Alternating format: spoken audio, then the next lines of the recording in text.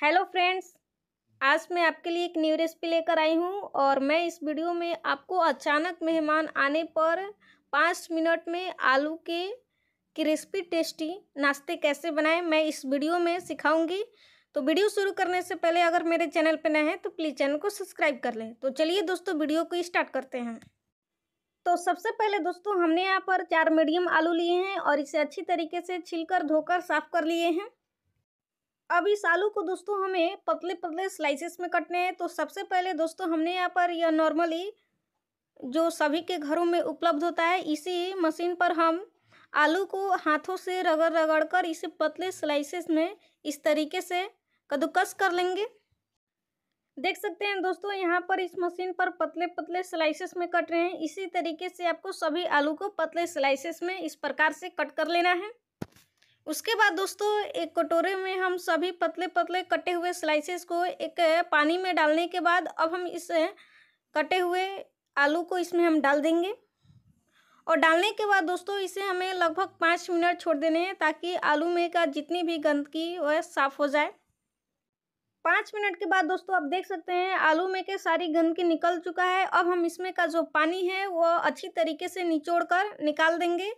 सभी आलू को दोस्तों, इसमें का पानी अच्छी तरीके से निचोड़ कर निकाल लेने हैं, तभी हमारे नाश्ते क्रिस्पी और टेस्टी बनेंगे। तो हमने यहाँ पर दोस्तों देख सकते हैं, अच्छी तरीके से आलू में का पानी हमने निकाल लिए हैं। अब हम इसमें एक कटोरे में सभी को रख लिए हैं। अब इस पतले स्लाइसेस आलू कटे हुए अब एक थाली में हमें डालने हैं। और थाली में रखने के बाद दोस्तों इसे टेस्टी बनाने के लिए इसमें हम कुछ मसाले डालेंगे। तो सबसे पहले हाफ़ टी स्पून गुल मिर्च पाउडर और बारीकी से कटे हुए हरी मिर्च, इसके जगह पे आप लाल मिर्च भी पाउडर या कुटी हुई डाल सकते हैं। अब इसमें दोस्तों हम चार चम्मच मक्के का आटा डालेंगे। दोस्तों आप जितना आलू लीजिएगा, उतना ही इसमें उसके अनुसार आपको मक्के का आटा डालना है कॉर्नफ्लोर अब हम इसमें हाफ़ टी स्पून स्वाद अनुसार नमक डाल देंगे। सफ़ेद नमक डालने के बाद इसमें हम थोड़े और टेस्टी बनाने के लिए हाफ़ टी स्पून काला नमक ऐड करेंगे। अब हम इसमें थोड़े फ्रेश धनिया पत्ती ऐड कर देंगे। और इसे अच्छी तरीके से सभी मसाले को आलू में हमें मिक्स कर लेने हैं।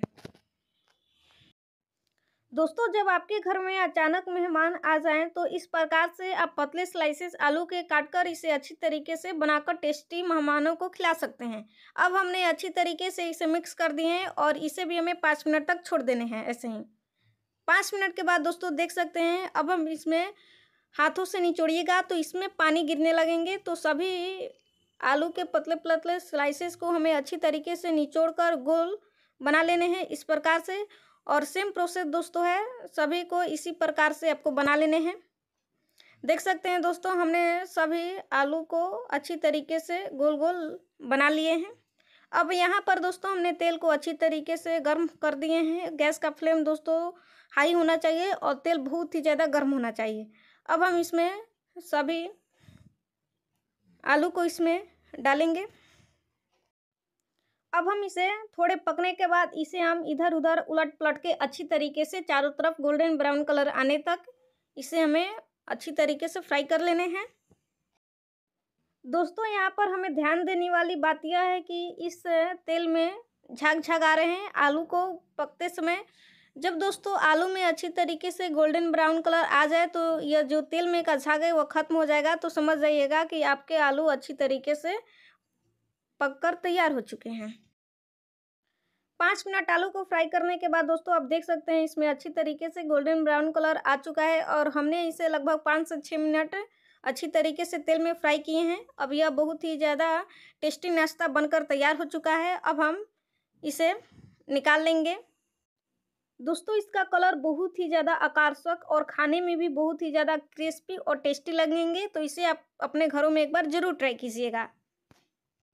इसी तरीके से आपको सभी आलू के नाश्ते बनाकर तैयार कर लेने हैं। तो दोस्तों, आलू के नाश्ते पर हमने खाने के लिए यहाँ पर टमाटो, सॉस और धनिया की चटनी लिए हैं। यहाँ पर दोस्तों, एक हम आलू के नाश्ते लेते हैं और इसका आवाज़ दोस्तों सुनिए, बहुत ही ज़्यादा क्रिस्पी है।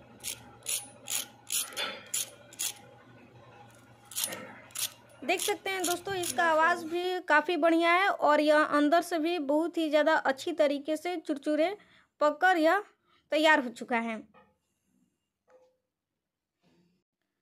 तो दोस्तों, ये वीडियो आपको कैसी लगी कमेंट में लिखकर ज़रूर बताइएगा और वीडियो अच्छी लगी हो तो प्लीज़ मेरे वीडियो को लाइक, कमेंट, शेयर और चैनल पे नए हैं तो प्लीज़ चैनल को सब्सक्राइब कर घंटी को भी प्रेस कर ले ताकि मेरे आने वाले हर एक वीडियो का नोटिफिकेशन सबसे पहले आपके पास पहुँचे।